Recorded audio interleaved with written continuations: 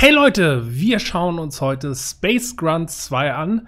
Ein Roguelike, das aber eine sehr interessante Spielemechanik hat, meiner Meinung nach, was ich so auch noch nicht gesehen habe.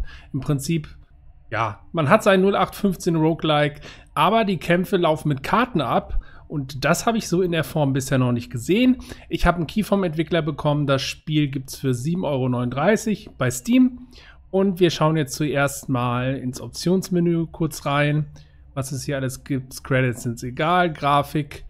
Ja gut, das Spiel ist halt komplett auf Englisch. Gamma-Wert lässt sich hier noch ändern. Der Mauszeiger, der hakt manchmal ein bisschen. Das nur nebenbei. Keyboard-Setup, Audioregler. Gut, der übliche Kram halt, nichts Besonderes hier.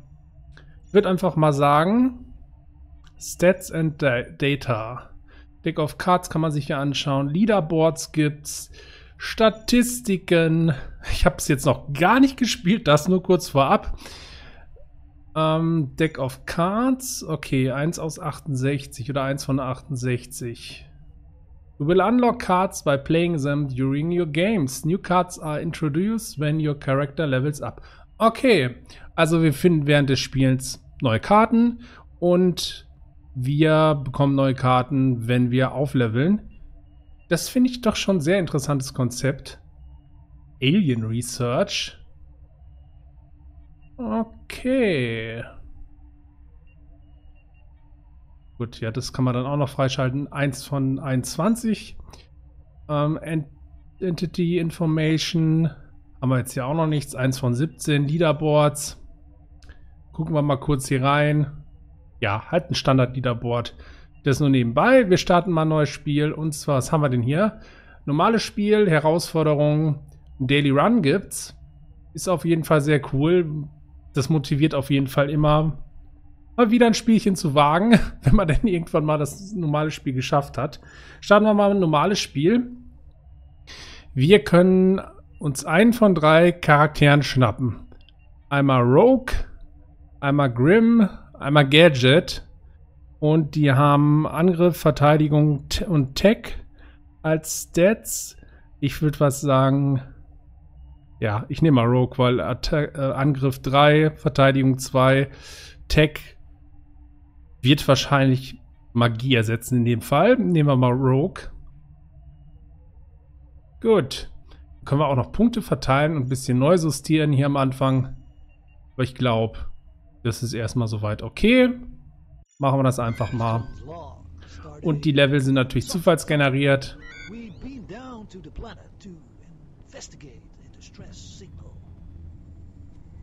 Finde ich aber nett, dass das so ein bisschen vertont ist.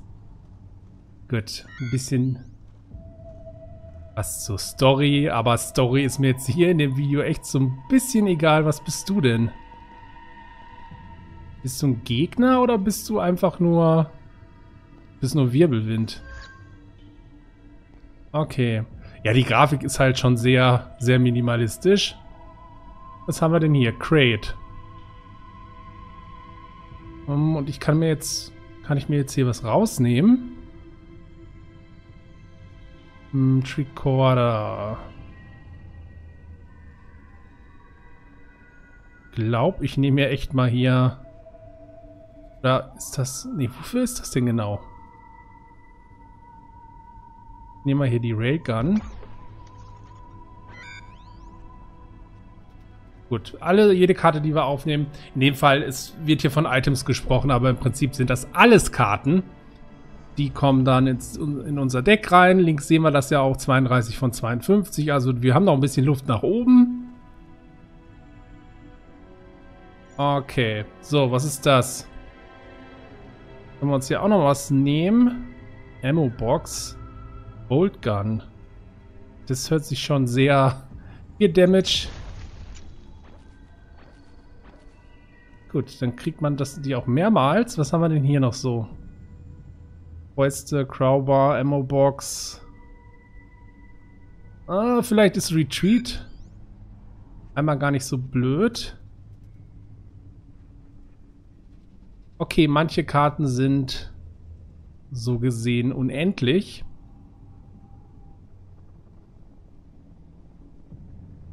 Und diese erkennt man daran, dass ein Zeichen oben rechts an der Karte. Alles klar. Okay, so, was haben wir hier? Crowbar, ja. Ja gut, hier haben wir das Zeichen, dass die Karte unendlich ist. Damit können wir uns aus, aus dem Kampf flüchten oder zurückziehen. Und... Ammo-Box bin ich jetzt nicht so von überzeugt.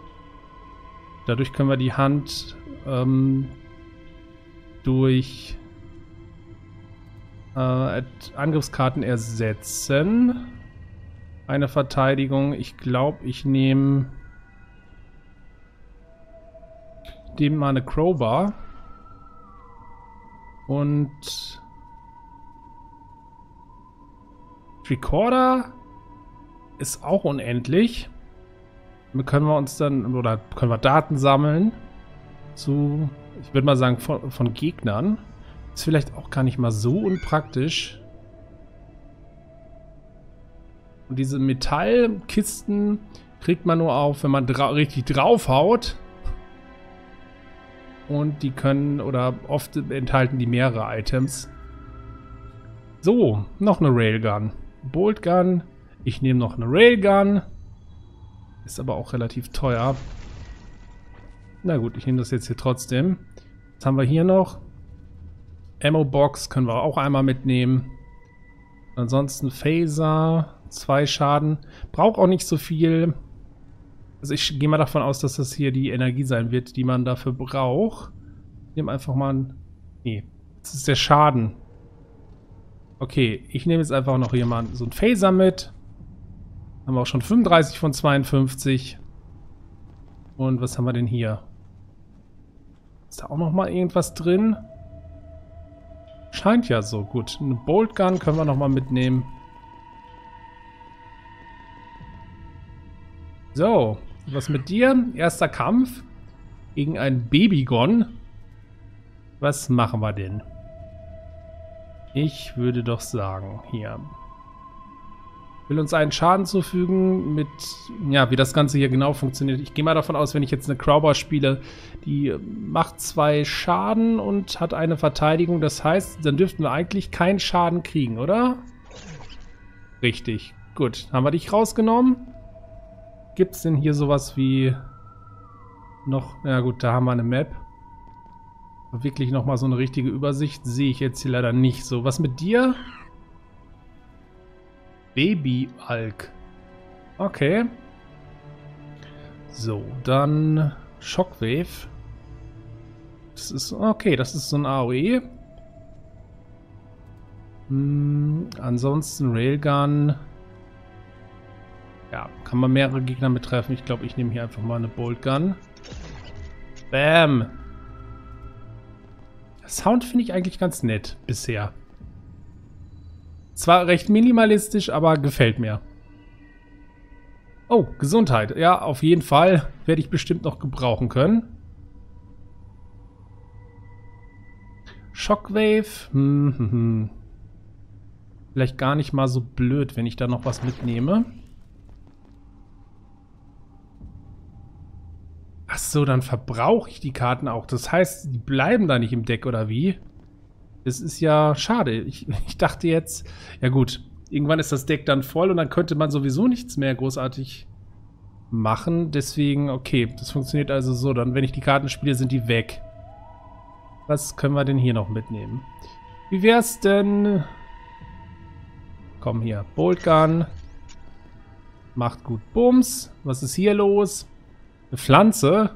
Schieß mal mit der Boltgun auf die Pflanze. Bam. Hier scheint es eine Quest zu geben. Nee, Moment. Plasmabombe. Das ist eine Plasmabombe. Sollte ich mich da nicht eher lieber von fern halten? Ähm. Benutze mal hier die Fäuste. Okay, ach so, ja gut, dann kann man das aktivieren.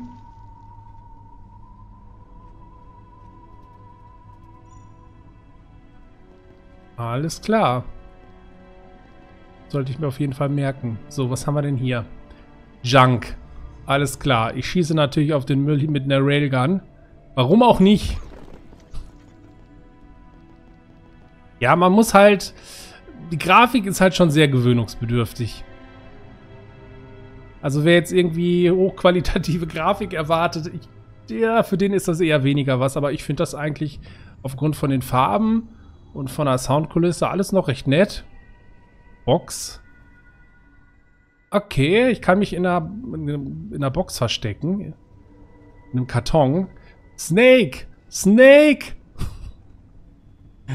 Ein falsches Spiel. Ich, ich hm. Nehme ich die mit? Ich, nee, ich habe jetzt... Ich nehme hier noch eine Boltgun. Ich brauche Waffen. Ich habe noch recht wenig Karten wieder. Also ich muss auf jeden Fall immer aufpassen.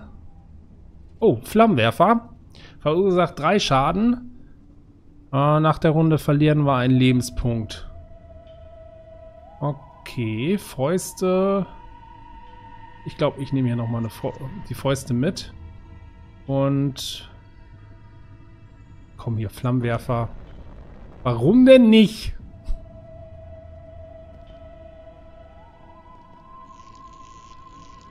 Das soll da bitte mal aufhören zu brennen. Danke. Phaser. Zwei Schaden. Trans Energy. Die Transergy. Transergy. Das ist auch praktisch. Den Schaden, den wir kriegen, wandeln wir in Lebenspunkte um. Das ist, könnte durchaus sehr nützlich werden. Ich glaube... Ja, komm, nehmen wir das mal mit. Und dazu noch... Nochmal hin Phaser. So, und hört das da jetzt mal auf zu brennen. Oh nein. Einmal nicht. Hm, schade. Ich hätte das da oben gerne noch eingesammelt. Nehmen wir das mal mit. Was mit dir? Gut, was machen wir? Du hast zwei Lebenspunkte. Das heißt, natürlich, Railgun, nein. Block haben wir hier auch als Karte. Hier Verteidigung. Nehmen wir mal einen Phaser. Hat auf jeden Fall gereicht. Was haben wir hier oben noch in der Kiste? Fäuste, noch eine Railgun. Hm, macht auf jeden Fall viel Schaden. Ich glaube, ich nehme jetzt hier mal so einen Recorder. Da kriegt man hier so eine kleine Beschreibung dazu. Okay. Gut, aber ich nehme jetzt... Nee, Moment. Ich wende hier diese Karten auf die Box an. So rum. Gut, dass mir das auch mal auffällt. Nach 10 Minuten, aber hey. So ist das halt, wenn man das noch gar nicht gespielt hat. Dann kann das durchaus mal passieren. Okay, was machen wir hier? Auf jeden Fall benutzen wir mal die Fäuste. Reicht nicht. Phaser und da ist leider nichts drin. Ich habe noch 22 Karten. Das Gefühl, so langsam wird die Luft dünn. so. Das hier ist hier unten alles nur gut ausgeleuchtet. Ansonsten haben wir denn noch irgendwie sowas wie ein Charaktermenü? Ich habe jetzt mal Escape gedrückt. Äh, Modifier Cards gibt es natürlich auch. Da sehen wir nochmal die gesamten Karten. Und das sind die letzten Karten, die wir aufgehoben haben. Da oben sehen wir, wie weit wir in den ja, gesamten Spiel sind. Continue. Gut, dann... Uh, da hat der Mauszeiger gerade wieder gehakt. So, ich sammle dich nochmal ein. Es gibt also auch beschädigte Karten, so gesehen, oder beschädigte Items. Ja, gut, beschädigte Karten, die können dann halt uns auch schaden, wenn wir Pech haben. Interessant. Ah, vielleicht liegt das jetzt auch hier mit dem Mauszeiger an dem Vollbildmodus. So, was haben wir denn hier?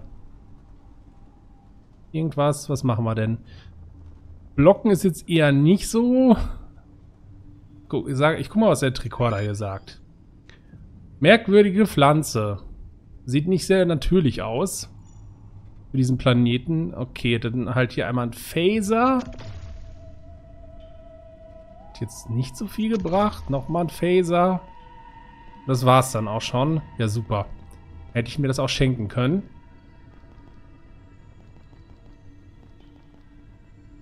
So, hier haben wir noch ein paar komische Pflanzen. Da haben wir eine große Kiste. Die ist doch mal interessant. Ich nehme jetzt hier mal Shockwave. Bam.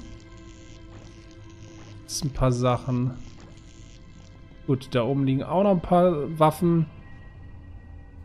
Und hier können wir... Fäuste reichen, glaube ich, nicht, oder? Nee. Nochmal Fäuste. Gab jetzt leider gar nichts. Hier gibt es noch jede Menge Kisten. Die Fäuste sind unendlich, dann sollte ich wohl eher die Fäuste hier für die Kisten benutzen. Und da das zwar alles ein bisschen länger, aber ich verliere dadurch auch keine Karten.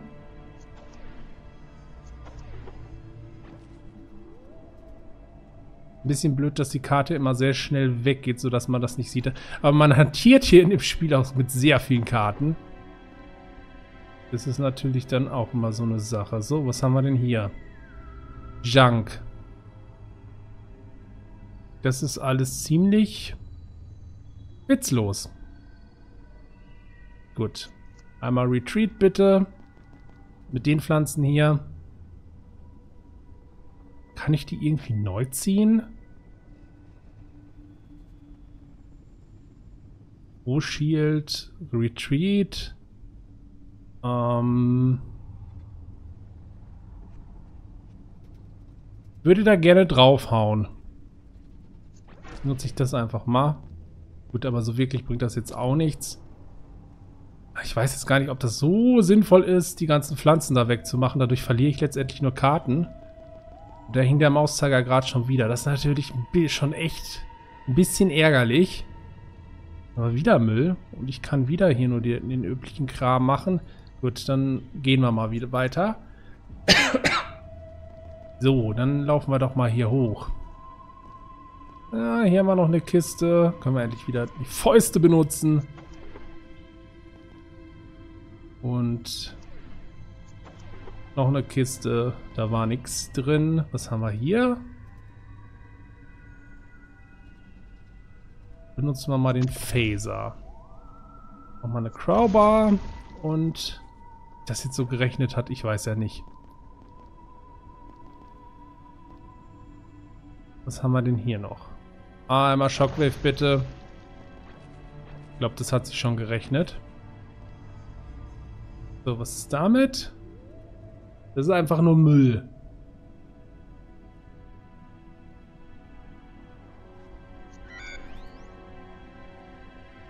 Was ist da jetzt passiert? Moment.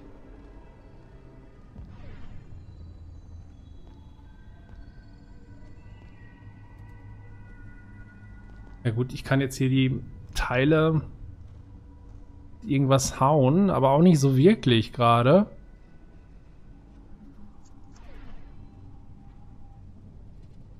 Box haben wir ja noch jede Menge Block. Das ist, lasse ich jetzt einfach mal links liegen.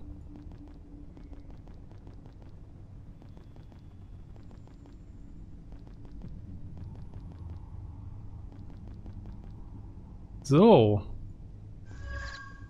Ja gut, das bringt jetzt nicht allzu viel. Wo geht das denn hier bitte weiter?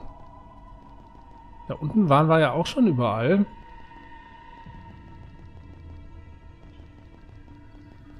Würde mal interessieren, was das hier ist. Gut. Kann er auch, kriegt er keinen Tooltip oder sowas? Ja, hier ist noch was. Okay. So, machen wir erstmal hier die Kiste kaputt. Was haben wir hier? Phaser. Und das ist natürlich auch nett. Äh, damit kommt, das ist ein Angriff, dem, mit dem wir alle Karten, die wir auf der Hand haben, kombinieren. Da zählen alle, die zählt alle Angriffspunkte zusammen. So, nichts äh, soweit mit dir. Warum sind wir jetzt auf der anderen Seite? Egal, so. 2 Damage, 6 Verteidigung. Das ist natürlich ein bisschen... Ich glaube, ich werde mich jetzt erstmal in der Runde Block verteidigen.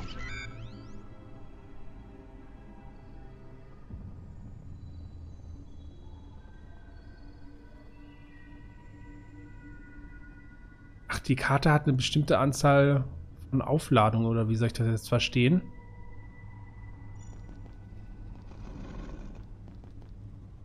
Gut, was haben wir hier?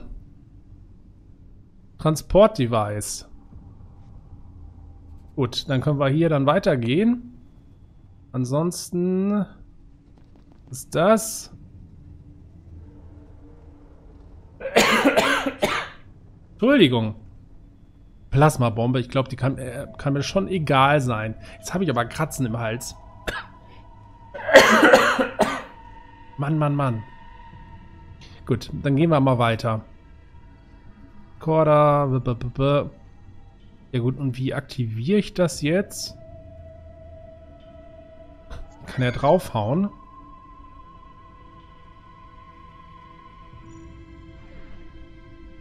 Ah, jetzt können wir uns eine Karte aussuchen, die modifiziert wurde.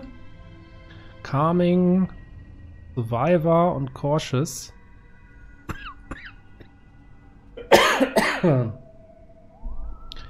hm. Ist schon interessant. Cautious ähm, 10 Verteidigung. Auf der Rückzugskarte Survivor kommen wir an die letzte sichere Position. Wenn unsere Lebenspunkte unter 6 fallen. Das ist natürlich auch schon sehr nett. Damit können wir eine wütende Kreatur be besänftigen. Aber ich glaube, ich nehme hier wirklich Survivor. So, nächster Level.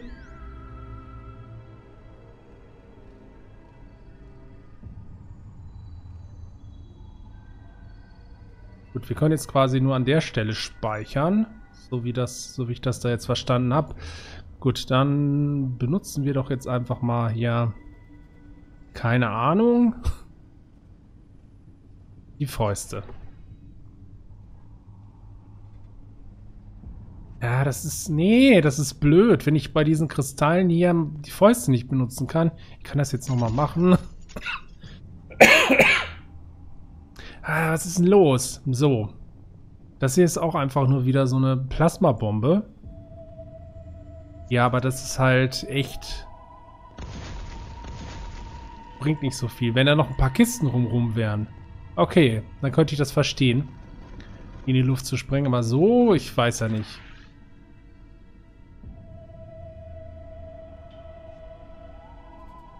Moment, das ist... Wieso sind jetzt hier schon die beiden Plätze, äh, Plätze ausgefüllt? Ich verstehe das gerade nicht. Heilung, Tricorder, Railgun. Bam. Die wurden gerailgunnt. Fidget. Bei Schaden, 6 Verteidigung. Das ist jetzt die, das ist die ganze Zeit immer diese Karte, die ich zusätzlich spiele, oder wie?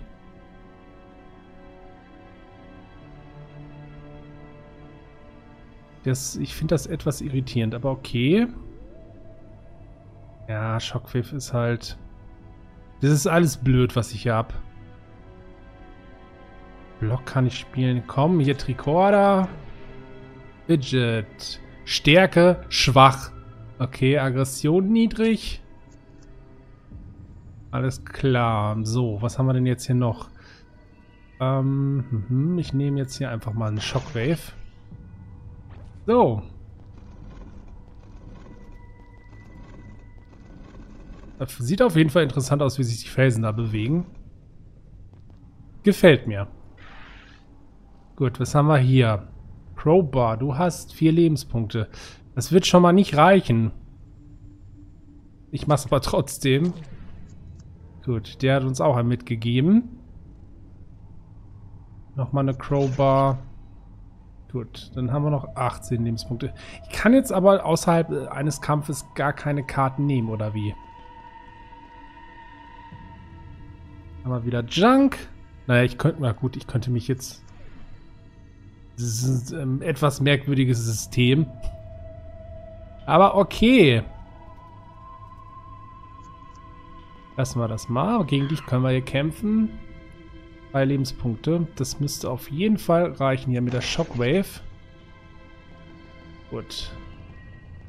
Richtig blöd, äh, richtig dumm steht man natürlich da, wenn man auf einmal keine Karten mehr hat. Deswegen muss man sich das hier, glaube ich, schon sehr genau überlegen. Aber eine Pflanze. Ach, das ist auch... Ist alles doof. So. Was mit dir? Baby-Alk. Hm. Das ist auch alles nicht so toll. Nehmen wir mal das. Ähm. Hat man noch 16 Lebenspunkte. Okay. So. Booster. Oh, das ist ganz nett. Quasi Buff für die nächste für die nächste gespielte Karte. Eine Bombe, Trans Energy, Trans Transergy, Transergy. Wie auch immer. Ja gut, ich kann jetzt hier eigentlich nur... Ich nehme jetzt mal den Booster. Und nehme mal hier Phaser. Bam. So. Und ja, ihr seht, es ist im Prinzip ein typisches ähm, Roguelike. Hier sieht man auch nochmal XP-Balken. 3, 3, 4. Gut, das sind die Stats, Lebenspunkte, Inventar, was, was es damit genau auf sich hatte. Gut, scheinbar war das so eine Karte, so ein Item, das zum Kampf immer benutzt wurde und man hatte eine bestimmte Anzahl an Aufladungen davon und wenn es halt verbraucht ist, dann ist es weg. Ansonsten kann man das dann zusätzlich benutzen immer oder andere Karten auch zusätzlich benutzen. So kam mir das zumindest vor. Gut, die Grafik ist halt, ja, ihr seht es. Aber durch die Farbgebung finde ich das eigentlich recht nett. Frage ist halt, ob man, ob ich bereit wäre, dafür 7 Euro zu zahlen. Das ist halt die große Frage. Ich glaube eher weniger. Trotzdem finde ich dieses Kartenkonzept ähm, in Kombination mit einem Roguelike schon recht interessant. Und ich, ja, ich weiß nicht, könnte sein, dass das Ganze hier und da eine, schon eine Schwäche hat. Vor allen Dingen, wenn man dann irgendwann mal keine Karten mehr hat. Es könnte schon sehr frustrierend werden, frustrierend werden. Aber das nur nebenbei. Ich hoffe, ihr hattet ein bisschen Spaß mit dem Video. Das war es erstmal wieder von mir und bis bald.